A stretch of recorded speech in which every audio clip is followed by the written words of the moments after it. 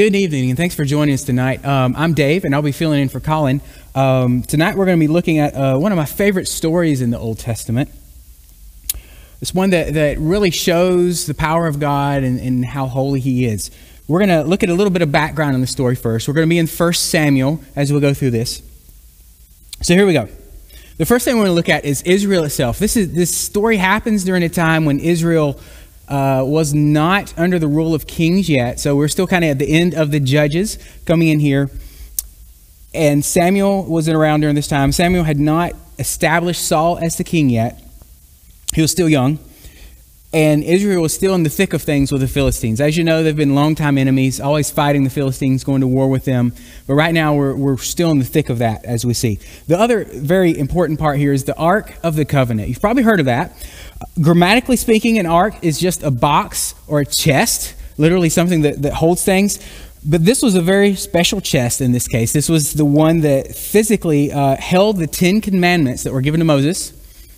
So they, they held those Ten Commandments. There's also a jar of manna from the time that Israel wandered around in the wilderness. There's this jar of manna there to remind them of God's provision during that time of wondering. There was also Aaron's staff, which was used during some of the miracles during that time. Aaron's staff, the jar of manna, but most importantly, the Ten Commandments were housed in this box called the Ark. Spiritually, it was a place that God's presence dwelt in the tabernacle and later on in the temple. It was called the most holy place. This was the place where the, high priest went forth to give the sacrifices um, to God there. Figuratively, it was God's footstool here on earth. So as he sat on his throne in heaven, figuratively, his, his feet were resting here on earth. This is his presence on earth, this ark of the covenant. It was considered sacred. It's a sacred object um, in our religion. It was designed so that the ark itself would never have to be physically touched. So they, they designed this ark, they put these sacred objects in it, this, uh, the Ten Commandments, the other things are in there, and it was never meant to be touched. It was, it was built so that there was rings on the side of this ark, and, and the priests would put these poles through, the priests and Levites would put the poles through the rings, and they would carry this ark with the poles, so that if anybody, so no one would have to touch it. If anyone were to touch it, they would fall over dead. This did happen within the, uh, within the Old Testament, and God was serious about this ark remaining undefiled, because this was God's presence on earth, is what it represented. So we talk about Israel, what time in, the, in their history they're at. We talk about this ark, the Ark of the Covenant, but we also have Eli's sons. You may have heard of Eli. He was a priest of God during this time. He was the one that raised up Samuel, who later went on to be a spiritual leader in Israel. But Eli also had sons of his own. He had two children, two boys.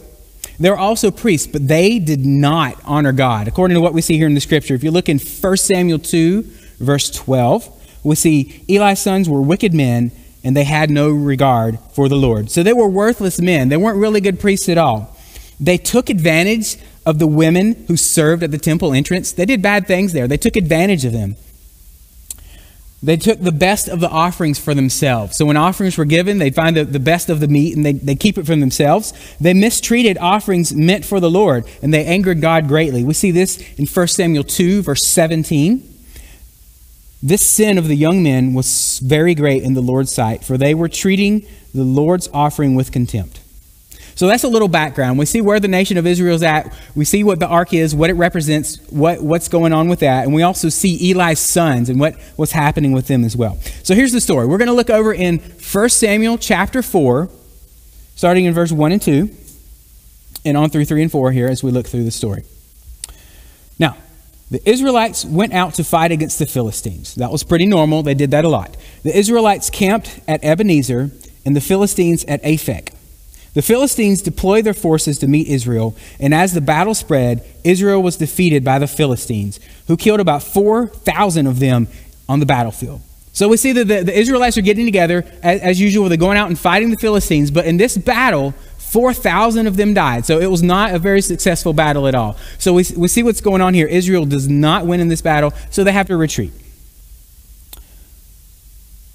This happens a lot in the Old Testament when they're battling the Philistines. We can easily infer from the, the, earlier passages about Eli's sons that this was a period in which Israel was not honoring God. We have priests that aren't honoring God. That means the nation as a whole, who is being led by these priests, are not honoring God. And when Israel doesn't honor God, God lets their enemies beat up on them and win.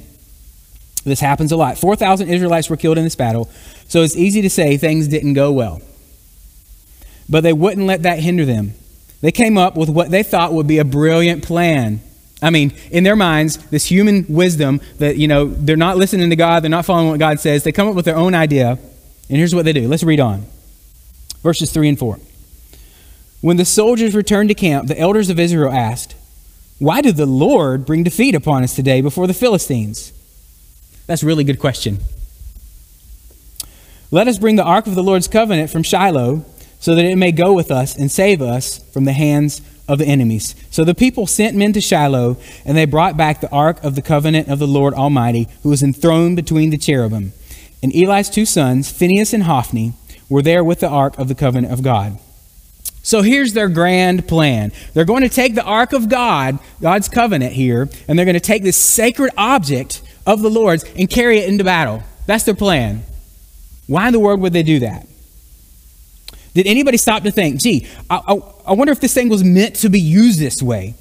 Um, they didn't really think of that. Was it meant to be used that way? Like it wouldn't there be some evidence in history of people doing that? Like wouldn't they, they they would know their scripture. They could look back and say, all right, well I see here every time that there's been a battle like this, they've taken the ark and they've they've won. Like there's no evidence of that. Perhaps they remembered the story when Joshua took Jericho and as they were traveling through the wilderness and now they're crossing over and taking the city of Jericho, they did, in fact, have the ark with them back then. How God had told Joshua to send the priests forward with the ark at that battle. You know, it was with Joshua as they entered and conquered the promised land, but that was the only battle he took it in.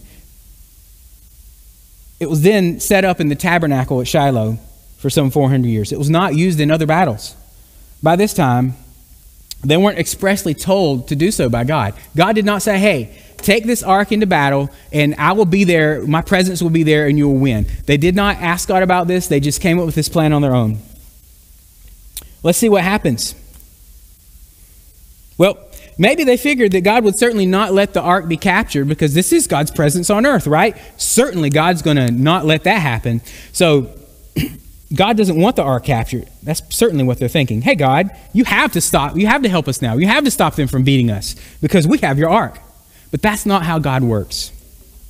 Let's see what became of their plan now. At 1 Samuel 4, verses 5 through 11, we read on When the ark of the Lord's covenant came into the camp, all Israel raised such a great shout that the ground shook. Hearing the uproar, the Philistines asked, What's all this shouting in the Hebrew camp? So right now we see that like now the Israelites are just getting riled up because now they have the ark of the covenant. They have God's presence there. They're thinking, all right, surely God is going to be with us. So they're so loud the ground shakes, and the Philistines are starting to get a little scared. Starting to get a little scared. When they learned that the ark of the Lord had come into the camp, the Philistines were afraid. Okay, it sounds like their plan's going good. Maybe. A God has come into the camp, they said. We're in trouble. Nothing like this has happened before. Woe to us. Who will deliver us from the hand of these mighty gods? They are the gods who struck the Egyptians with all kinds of plagues in the desert. Be strong, Philistines. Be men, or you will be subject to these Hebrews, as they have been to you. Be men and fight. So the Philistines fought, and the Israelites were defeated, and every man fled to his tent. The slaughter was so great, Israel lost 30,000 foot soldiers. The ark of God was captured, and Eli's two sons, Phinehas and Hophni, died. So 30,000 is, is quite a bit more than the 4,000 they'd lost before. But it doesn't look like their plan worked. They thought for sure if we take the ark into battle, we're going to win. But one thing we want to look at here the ark was not a lucky charm. They thought it was going to certainly bring them victory. They thought it was going to be their good luck charm to, to help them win out, but it wasn't. When the ark arrived, the Israels were ecstatic. They were just overjoyed, like, yes, yes, we're going to win this now. The Philistines figured out what was going on, and they were afraid, but this fear drove them to fight even harder. This fear they had for what was going on, they're like, we just, we gotta, we got, like, they, they were fighting for their lives at that point because they knew what would happen. 30,000 Israelites died that day. Others fled, abandoning the ark. They left the ark in the battlefield. I want you to realize this. They took God's sacred object, they took it to battle, and they left it there when they got scared. The Philistines captured the ark. That doesn't sound good. Okay, so what's going to happen with this Dagon character we're looking at here in a little bit? Um, we're getting to that part.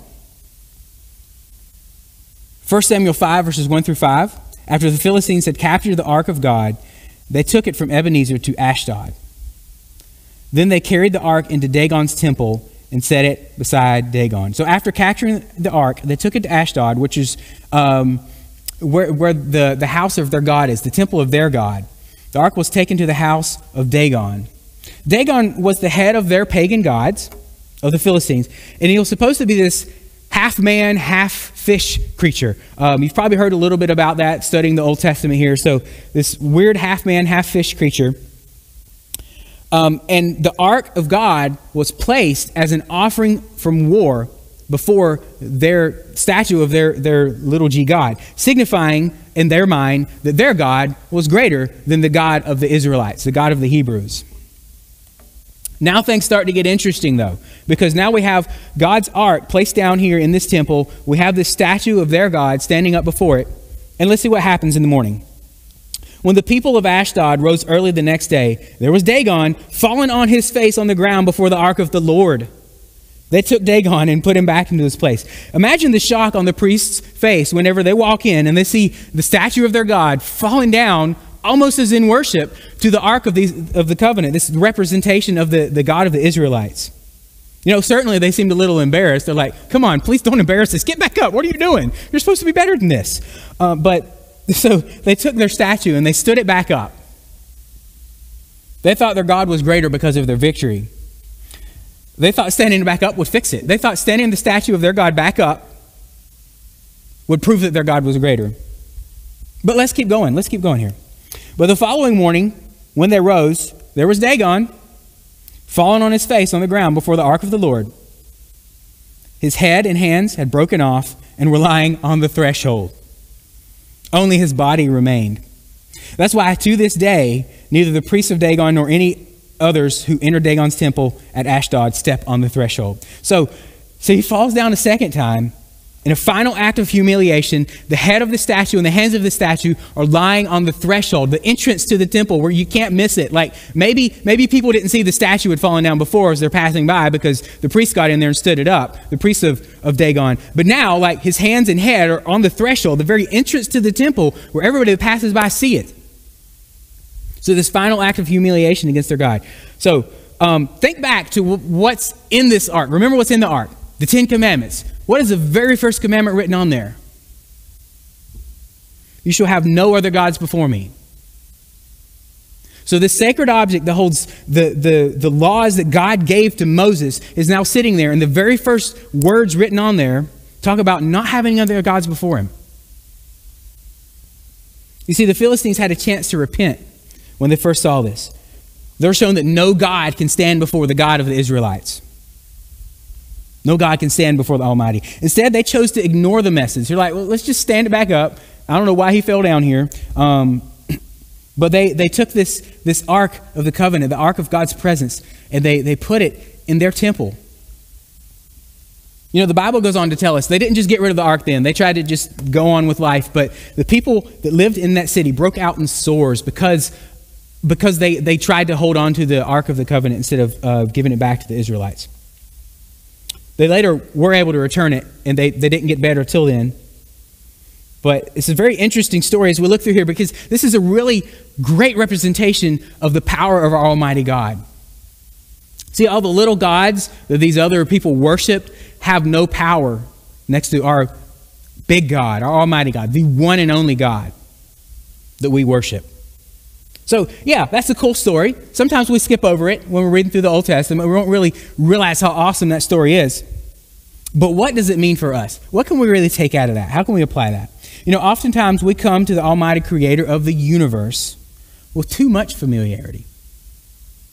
Sometimes we, we, just, we, we just treat Him like He's just, I mean, He is a friend of ours, but we just treat Him with, like we're just too familiar with Him.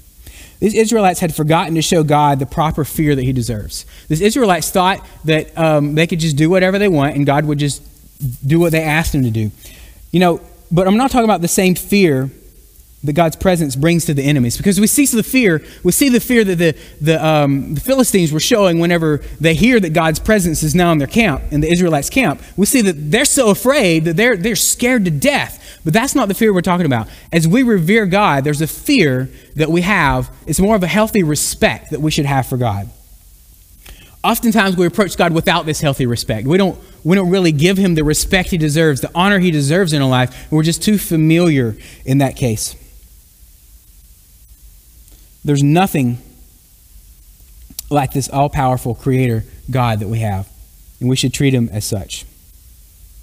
And oftentimes, not only we not approach him with the reverence that we should, because yes, yes, absolutely, he is our Abba Father. We should come before him as a loving Father uh, and the loving God that he is. We should have some familiarity with him. Like there's a relationship that we should have there, but there's still a reverence um, that we need to show um, to him as well.